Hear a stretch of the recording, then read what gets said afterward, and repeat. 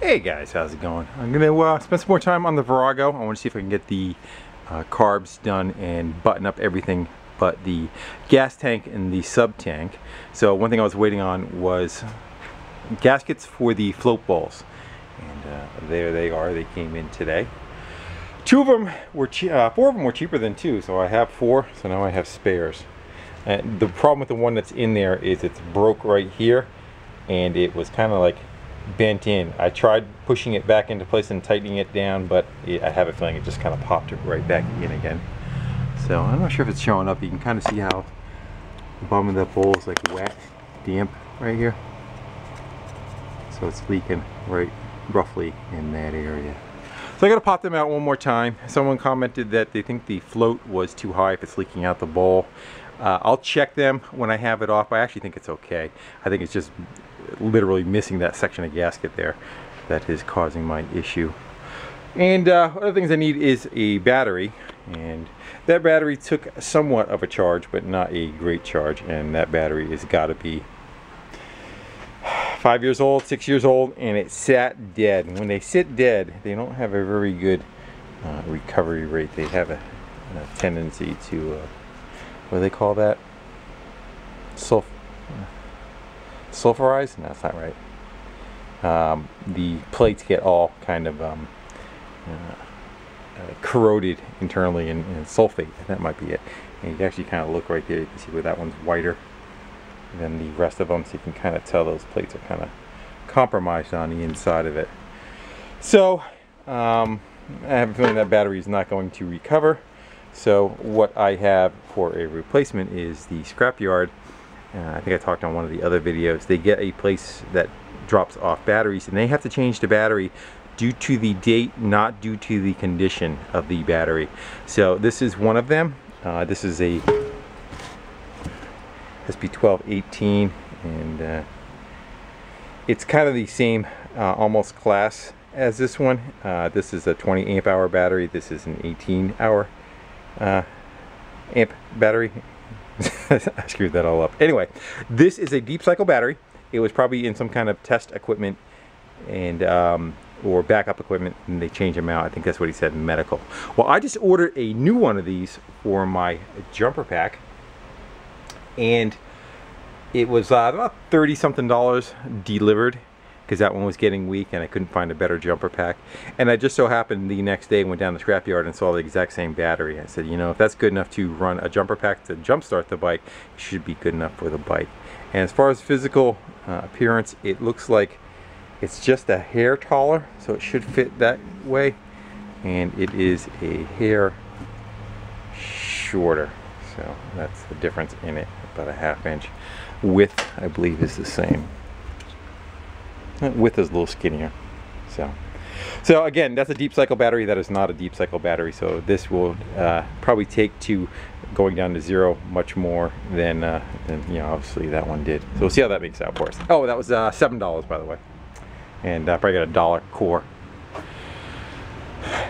Gas tank, I got a gas tank change in position over here with the sealer in it. I'm not sure what we're gonna do without light. Can you see in there?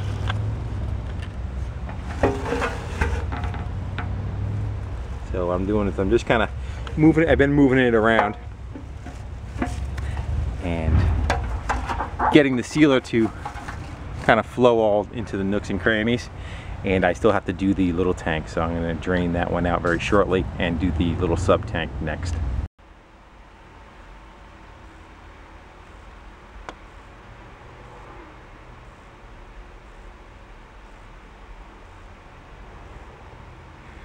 So I'm going to let all that kind of run out. And I'm going to swish it around and try to get the best um, amount of the excess out of there. Whatever is stuck is stuck. It's not like you're trying to make a quarter inch wall. You're just trying to make a, uh, a coating all the way around.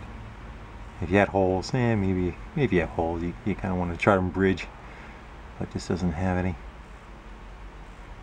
So I'm going to try to get as much as I can out of it and then after I'm done I'm going to keep rotating the tank so that um, the stuff is whatever didn't come out of the tank still kind of rolls around And I got to make sure once in a while I got to come back after I pull these and I got to blow them with air to make sure these two passages stay clear on the inside. Sometimes you could jam something up inside them when it's still kind of curing like a clothes hanger or a drill bit depending on whether it's a straight shot or not and uh, you kind of get it out of your way but you got to make sure you got that passage open because like this one they got to kind of go up in the tank and bend down around somewhere and I can't have them solve with fuel. It's not like a regular tank with just a petcock in the bottom of it. if this puts up too much of a fight, that's what it's to get. But anyway, so blow those passages out. And uh, this has a, a lip about that deep in the top. That's why I couldn't pour it back out from the cap. That lip doesn't allow you when you flip it over to get any material out, but it's meant to maintain a, uh, a vapor um, space. So you fill the tank up, it, it clicks up, but meanwhile there's still that much air in the top of the tank. So that kind of makes for a bitch for cleaning up. And I'll hit that with a uh, wire wheel, the little lip right here. And uh, the cap I'll take care of when that's off, but I'll clean that back up later and we'll just coat that with a uh, petroleum kind of deal. So this started out as a, I think it's a one quart can. Yeah, a one quart can. And it's probably done uh, have about five, four or five tanks already. I think it's a, I think it's meant for like a, you could do up to a, a marine, not marine, a, uh, automotive gas tank, like 18 gallon tank. So when you use on, on the little tanks, you, re, you recoup uh, so much of it that it doesn't, um, it goes pretty far, you know. So it might be 20, 30 bucks for the for the core, but it, it does uh, a lot of them. I forget what this one is. I already transferred it into another uh, uh, glass jar, or I'll give you the information on that. Alright, so I'm to let that drip. And I figured I'd show the carbs uh, midway getting removed. So just going around the outside, I took the choke cable off of this side, uh, throttle cable rather, off of this side, and that just came off with one screw on this bracket. The whole thing will come away. You can take the bracket off of the um, cable, and then just uh, I just put it back together up here so I know where it goes. The intakes have two screws on them. Top one is uh, got a slot in it, so if you just crack it loose, it'll slide out, and the bottom one is uh, bolted through. So you got to kind of unbolt it, pull it away a little bit, unbolt it a little bit further because this clamp is fixed on it and that clamp is opened up all the way. Same on the other side, we got a throttle cable on this side. And that's just mounted right there, the bracket screwed back on it. Vacuum hose off each side, vacuum hose off of the, uh, the intake on this side. And then the fuel line is disconnected originally it had a, a, braid that held the center of it. I'm going to omit that one so that I can get in there and put hose clamps on and change hose out in the future. If not the way it was tucked inside there that thing was right on the knuckle with a special kind of clamp that I don't have. Um, so anyway that one's gonna be omitted. I'm gonna put a regular hose clamp for uh, future access. And the whole reason why I'm doing it this way this you can see this one's uh, cracked half or loose too is you can't get the unit out uh, by unbolting them or you can get the unit out uh, by not unbolting them and popping them out of the socket. So you got to kind of get them loose. I used a, a big ass pry bar uh, between the screw and this case right here and just kind of worked it, went over the other side, worked the other side and, and pushed them off and uh, now they kind of wiggle around inside there but you're not going to be able to get it out of that pocket. So now you got to continue taking these screws out and now you get the room to do so. And uh, you got to wiggle those intakes I'm not going to be able to do this on film. Let's see. Left-handed, no less. No, the top one's still too tight. Anyway, so I'll get those out of there. Once those are out of there, then the two carbs will come out. They are put together as a, uh, again, a single assembly, so they got to come out together. And through the magic of video, we just poof, loosened up that screw.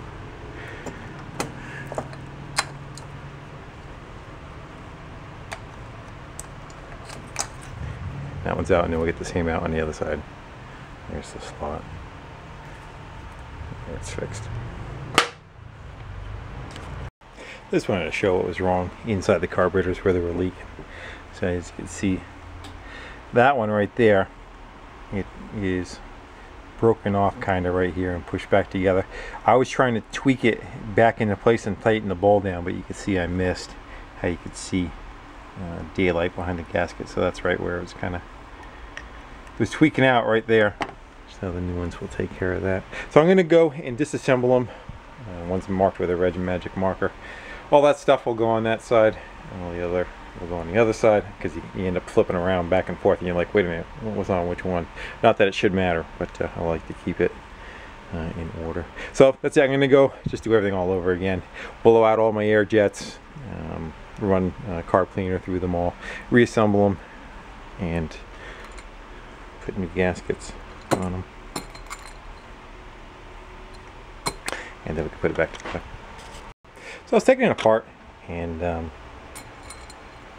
I'm going to show one of my boo-boos, if you will. You notice the end of the float is kind of it's ground away. I did that with the wire wheel.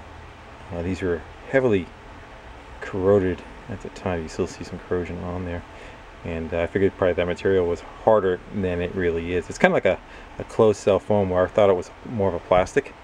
And uh, what closed cell means is that the little air pockets uh, do not uh, link across to each other inside. So each pocket is its own little capsule. So it, it won't wick up material, uh, fuel.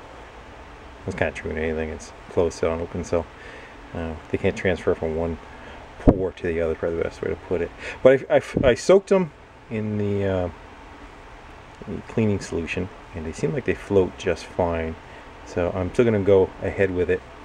And I was just checking the, uh, the float levels. One is a little, uh, generally when you take a carb and you flip it over, and this is just a general rule, you want the floats almost to be like level with the base of the carb when it when it's closed. Sometimes they have a roll pin you put in, sometimes you have a scale you kind of measure it. But I'm looking at the difference between the two of these. One of these uh, has uh, it set up where it kind of hangs out a little further than the other and that will make the float level a little bit lower than the other one. And I think I'm going to match the other one the same way to make the float level a little lower because I am just shy of uh, some float material so maybe my way of trying to compensate. But uh, I don't think that was the, the issue in the first place. But we did talk about if the float's off, it could also cause the carb to overflow its bowl. So that may be the issue also. Anyway, onward. So they're back on with the new gaskets. There's the uh, condition of the other one that was on the other side too.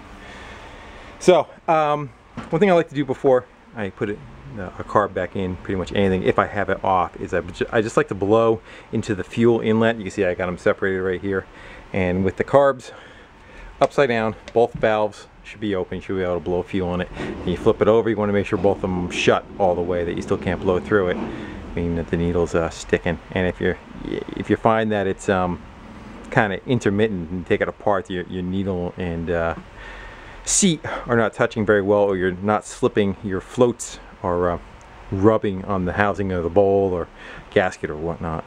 So that's taken care of on this one and they seem to operate fine. So now I'm gonna go squeeze all that assembly back in its little cave where it came from. All right, so this will go. I got that other battery on it, and we got to prime it a couple of times.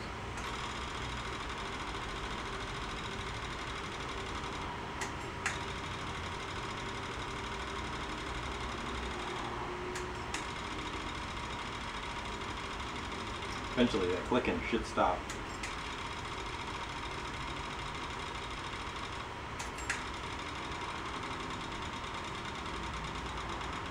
Close. That's it. Alright. No choke. See what happens.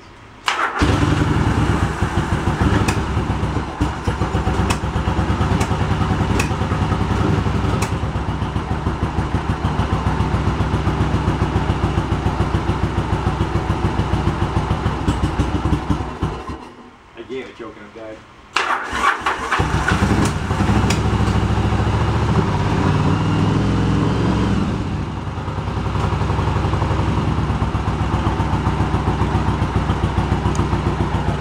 I'm gonna let her warm up and see how she makes out. So it's been running about 10 minutes or so and uh, had to go tweak. I had one of the vacuum lines off on the front cylinder, so it wasn't coming in at an idle. Put that back on, came right back, and uh, just play with the balance a little bit.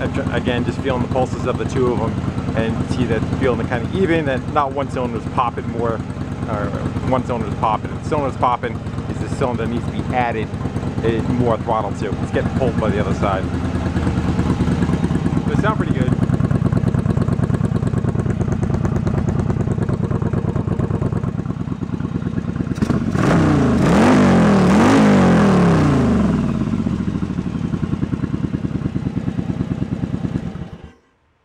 So I'm happy with that. Uh, the battery actually works fine too. It doesn't have any uh, uh, drag trying to crank it over. So now I'm going to go put the elbows back on and try to put the intake system somewhat together so that I have the correct drag on the intake and I'll try to fine tune them and uh, see if we can get some gauges out and maybe uh, try syncing them with those. Back at the tank, got about um,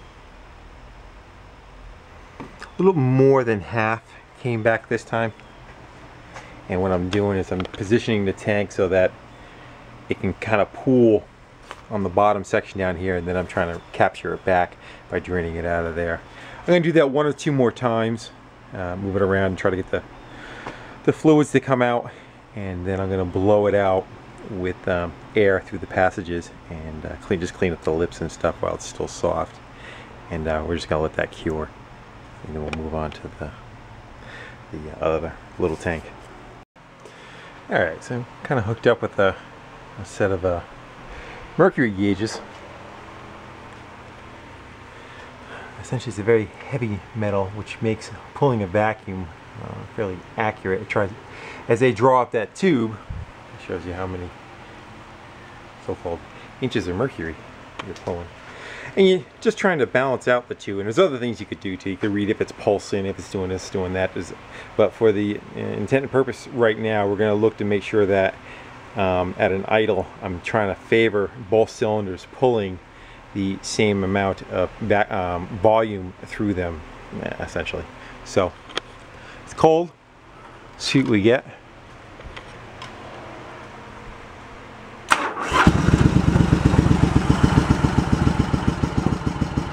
You gotta watch you don't rev it too much too because you'll suck it right up.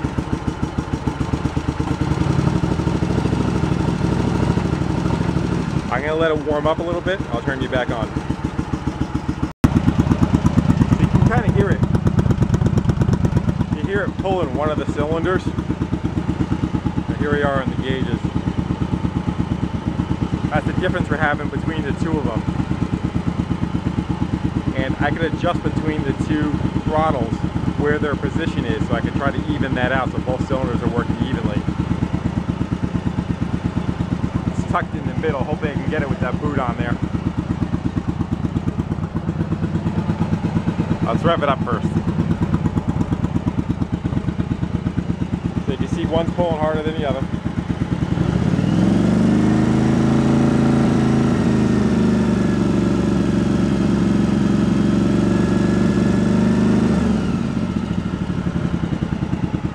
So you can see it's still favoring that one cylinder all the time. Hopefully that all that will kind of come together once I tweak them. When you let off the throttle, don't dump the throttle. That's when it'll suck the mercury right up. Roll it back slowly. So that's the screw right there I got to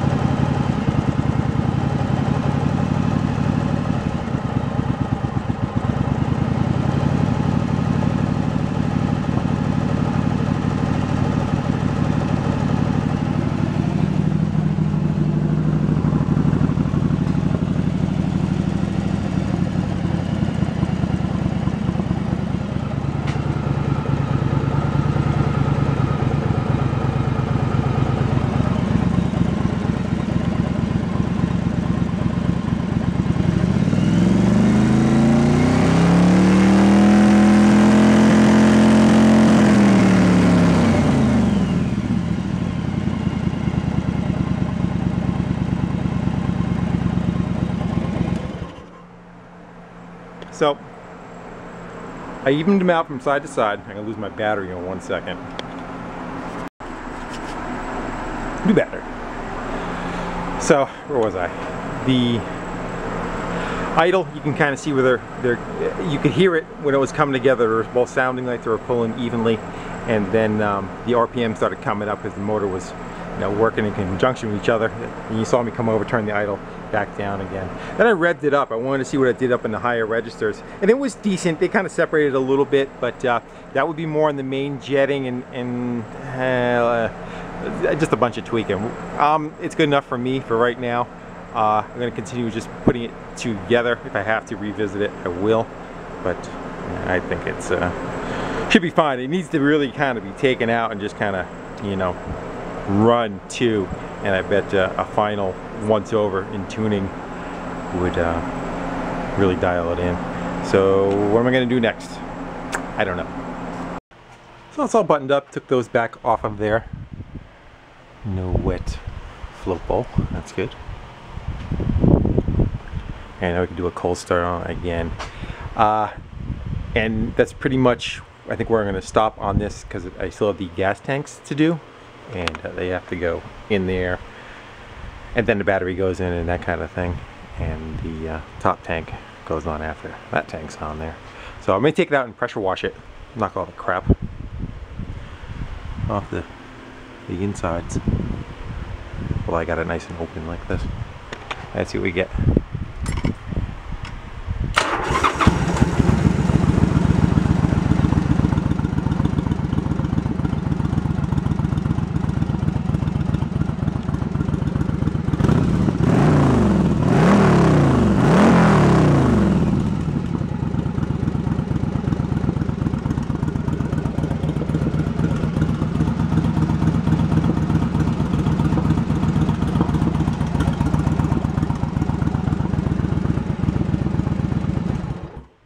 Hear one popping just a little bit, so I may work with the uh, the air fuel mix on the bottom of them.